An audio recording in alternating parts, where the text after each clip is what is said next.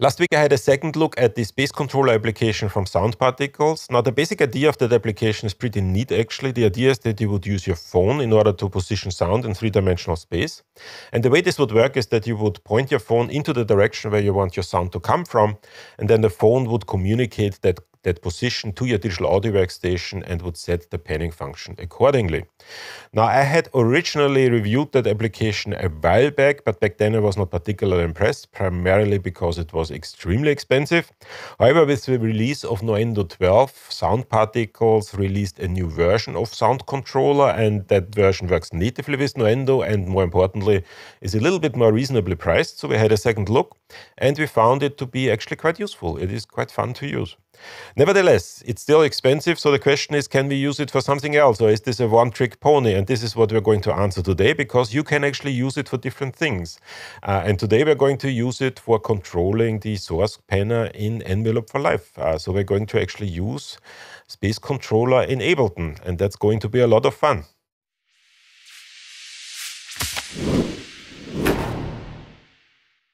But first of all, hello everybody. In case you're new here, my name is Michael Wagner. I teach at the Antoinette Westphal College of Media Arts and Design at Drexel University in Philadelphia.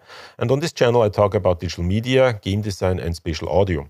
And if any of those things interest you, I invite you to subscribe or join my Discord community. An invite link is in the description below. And uh, if you're already at it, uh, please also don't forget to press the like button because YouTube wants us to do that. Now, with that being said, let's get into some Ableton Live and space controlling the source panner of envelope for live thingy. Now, before I show you the details on how to make Sound Controller work with Ableton, let's first have a look at all the things that we need today. The first thing, obviously, we need the Space Controller application, and uh, it is available for Android as well as iOS.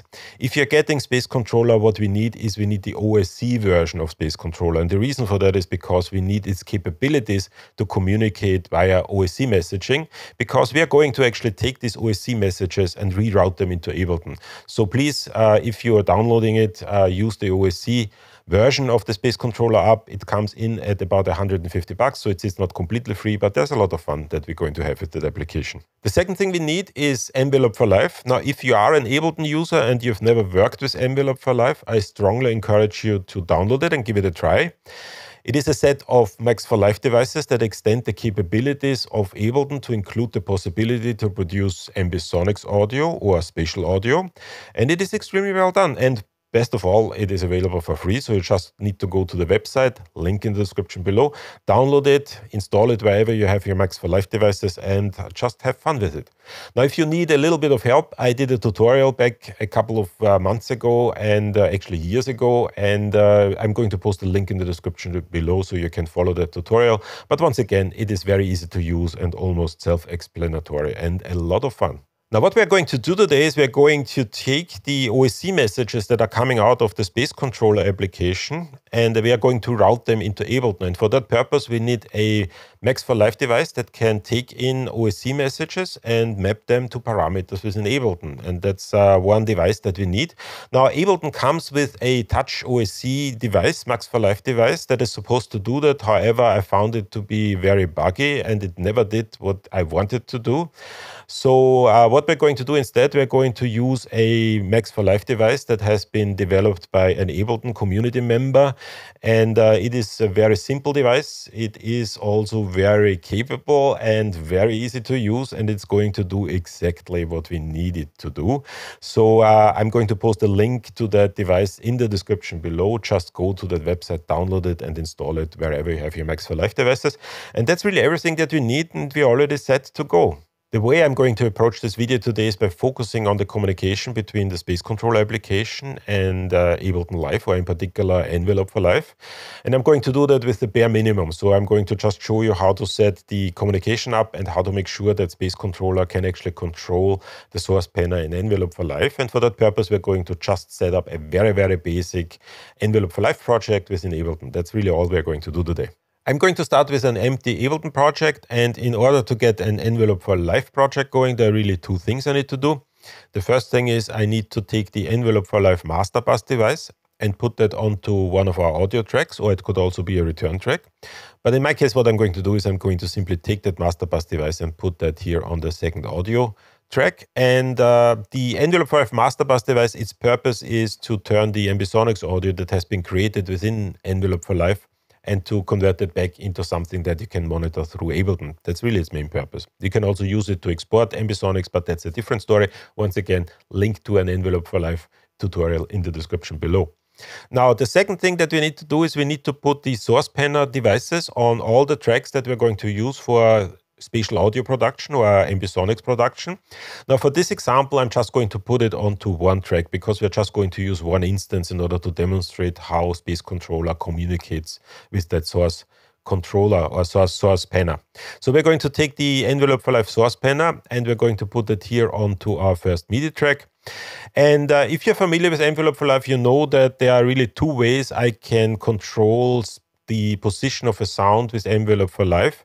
I can either do that through the uh, polar coordinate system where I have azimuth, elevation, and the radius. So I can essentially move the sound left, right, that's essentially left right really. I can move it up down or i can also kind of change the distance. Or i also have the possibility to do the same thing with x y and z coordinates where i can change the position of a sound by changing x y and z in three-dimensional space. Now for our purpose here we are going to stick with the polar coordinates because that's actually much more natural when we are going to use the space control application. So we are going to keep it here with uh, the polar coordinate system enabled it's now time to set up the space controller application on your phone. Now I have it here on my iPhone. Once again, don't forget, we need the OSC version. This is the second button here. So I'm going to press the OSC space controller application. As soon as I press that, it comes up and uh, essentially it's already communicating the azimuth and elevation information. And if I press the big button here, it turns blue and it's also communicating the distance information and I can swipe up and down and uh, that will essentially change the distance. This is essentially the way this space control application works. Now, in order to get it to work with, uh, with our setup, what we need to do is we need to make sure that a couple of settings are set correctly. So let's go into the settings menu, which is which we can do by pressing on the cogwheel that's on the on the upper right corner. So let's press on that. A couple of things that we need to make sure. First of all, uh, for the host, please select Spat Revolution. That is important because uh, sputter uh, communicates the parameters in exactly the way the source panner in uh, Envelope for Live actually expects them to get.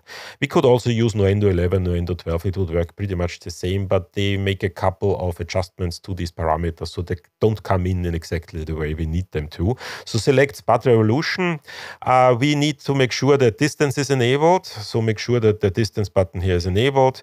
Also make sure that the stable zero elevation is disabled. The idea of that sta stable elevation is that it is less likely to have, uh, or it's, it's, it's sort of a stabilization really. It makes sure that if you're moving the phone up and down, it is not as reactive. Um, and obviously that is useful if you're just kind of doing left-right uh, panning. Um, in our particular case, we want to have the full range, so we're going to disable that. And uh, the other thing that we need to make sure is we need to make sure that the coordinates here are set to AED and not XYZ, uh, because the uh, way the application communicates with Ableton, it actually works better with azimuth, elevation, and distance as opposed to X, Y, and Z coordinates. It, it just works nicer. We also need to make sure that the maximum distance is set correctly. If you set it up the first time, it will actually have uh, 100 as the default, but the uh, source panner in Envelope for Live expects a number between 0 and 1. So let's just make sure that the maximum distance is set to one. And then the final thing that we need to do is we need to make sure that the uh, computer IP is set correctly. Uh, that is the IP where you have Ableton running. So that's uh, your main digital audio workstation computer. And um, the port, uh, when you set it up initially, it's set up with 9000. You can choose any port as you want. Just make sure that you remember which port it is. You can go with the standard uh, that is 9000. For some reason, at some point, I set to 7000, which is fine. And I think that's everything that we really need with the settings. And uh, that means that we can now go into connecting everything together. Now, what's happening now is that the Space Control application is sending out OSC messages, and uh, I now need to read those OSC messages or receive those OSC messages within Ableton. And the easiest way to do that is by using this OSC input device uh, that I mentioned at the beginning of this video. So let's just take the device and put it onto our track where we have the Envelope for Live source panner. And this will essentially allow us to read the OSC messages and map them onto the corresponding parameters on the uh, envelope for live source panner. There are a couple of things that we need to set in the OSC input device. In particular, we need to tell it what messages it is supposed to listen to. And in order to do that, let's go into the settings of that device. First thing, uh, we need to set the port. Let's, let's change the port to 7000. That was the one that I chose on my phone. Once again, doesn't really matter which one, just needs to be the same one that you have on your phone.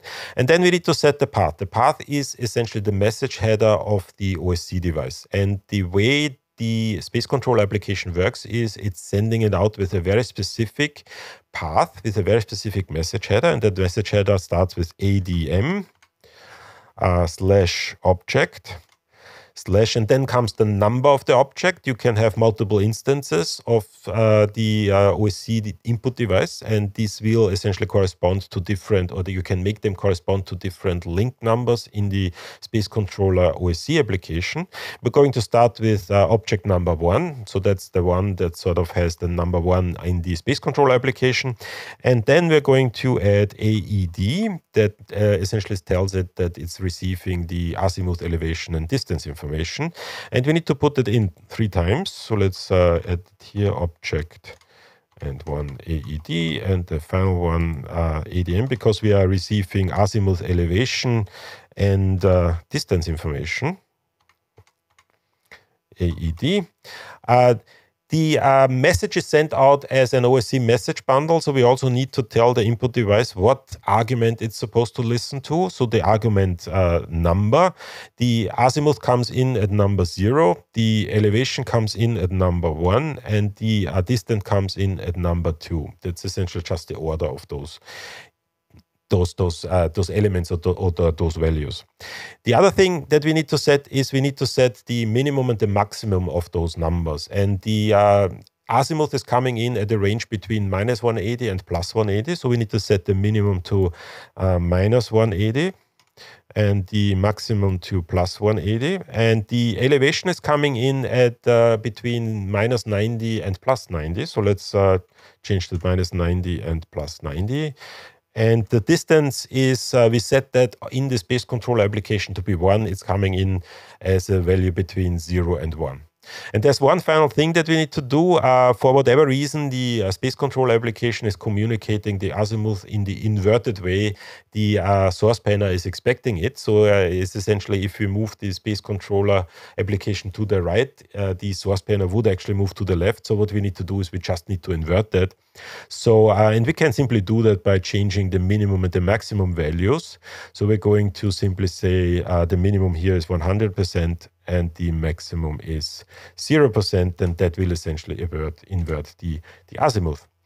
And the final thing that we need to do is we simply need to map those parameters to the corresponding parameters into a source panner. So let's map that. So let's put the map button here to the azimuth. Uh, let's put the map button here to the elevation and the distance to the uh, to the distance.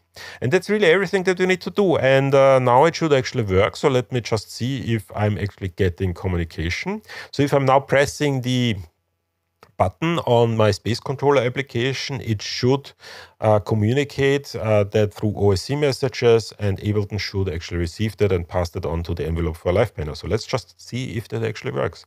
So let's press the, press the button and indeed it does. So if I'm moving things around, I need to I need to center my phone first. So let me just kind of click here on the set front button. So this is the front and uh, and that now yeah that communicates that correctly. So if I'm moving left and right, I'm getting it if I'm moving up and down, and if I'm bringing it closer, I'm changing the radius.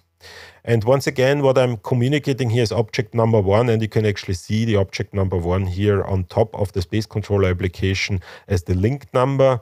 If I'm increasing that, I can have multiple instances, and I would corresponding, uh, I would have to set the messages in these uh, corresponding instances by changing the object number here in the um, in the OSC input device. So if I would have a second one, I would essentially copy the very same values. The only difference I would add a 2 instead of a 1, and that would correspond to the link uh, number 2 on the space controller application.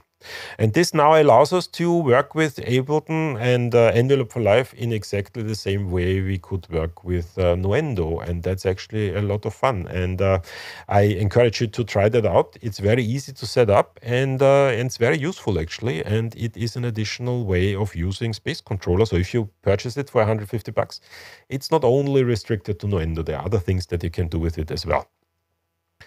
Now, this is really everything I wanted to say today. Thank you so much for watching this video. If you got any value out of it, don't forget to press the like button. And once again, if you have any comments or questions, please use the comment section below or join my Discord community. Invite link is in the description below. And with that being said, see you at the next video.